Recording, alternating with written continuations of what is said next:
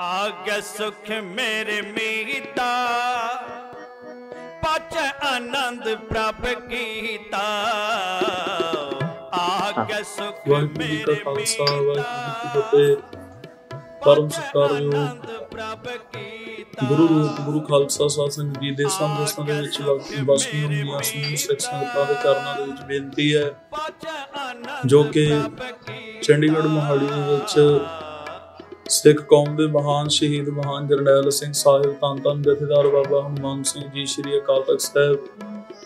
ਬੁੱਢਾ ਦਲ ਦੇ ਔਰ ਸ੍ਰੀ ਅਕਾਲ ਤਖਤ ਸਾਹਿਬ ਜੀ ਦੇ ਸੱਤਵੇਂ ਜਥੇਦਾਰ, ਜੋ ਸ਼ਹੀਦਾਂ ਦੀ ਪਾਵਨ ਪਵਿੱਤਰ ਯਾਦ ਦੇ ਵਿੱਚ ਜੋ ਸੁਹਾਣਾ ਸਾਹਿਬ ਦਾ ਪਵਿੱਤਰ ਸਥਾਨ ਸ਼ਹੀਦਾਂ ਦਾ ਗੁਰਦੁਆਰਾ ਸਿੰਘ ਸ਼ਹੀਦਾ ਔਰ ਸੰਗਤਾਂ ਦੇ ਸਹਿਯੋਗ ਦੇ ਨਾਲ ਜੋ ਬਹੁਤ ਹੀ ਉੱਪਰ ਆਲੀਸ਼ਾਨ ਸ੍ਰੀ ਦਰਬਾਰ ਸਾਹਿਬ ਬਣਾਇਆ ਗਿਆ।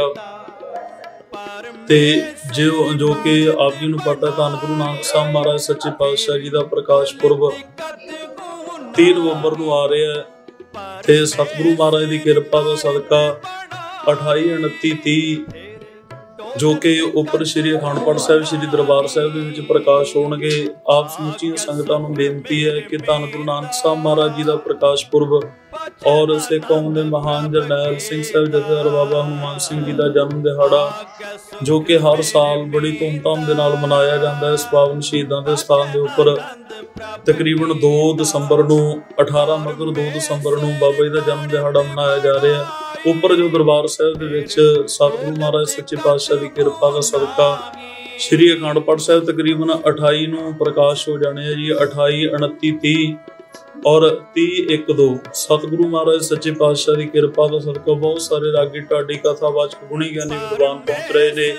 ਆਪ ਸਮੁੱਚੀਆਂ ਸੰਗਤਾਂ ਨੂੰ ਬੇਨਤੀ ਹੈ ਭਾਈ ਲਾਈਵ ਦੇ ਦੁਆਰਾ ਵੀ ਇਹ ਸਾਰਾ ਪ੍ਰੋਗਰਾਮ ਦਿਖਾਇਆ ਜਾਏਗਾ। ਜਿਹੜੀਆਂ ਸੰਗਤਾਂ ਪਹੁੰਚ ਸਕਦੀਆਂ ਨੇ, ਉਹਨਾਂ ਨੂੰ ਬੇਨਤੀ ਹੈ ਕਿ ਜਰੂਰ ਭਾਈ ਦਰਸ਼ਨ ਦੇਣ ਦੀ ਕਿਰਪਾਲਤਾ ਕਰਨੀ। ਸਤਿਗੁਰੂ ਜੀ ਕਿਰਪਾ ਕਰਨਾ ਆਪ ਸਮੁੱਚੀਆਂ ਸੰਗਤਾਂ ਨੂੰ।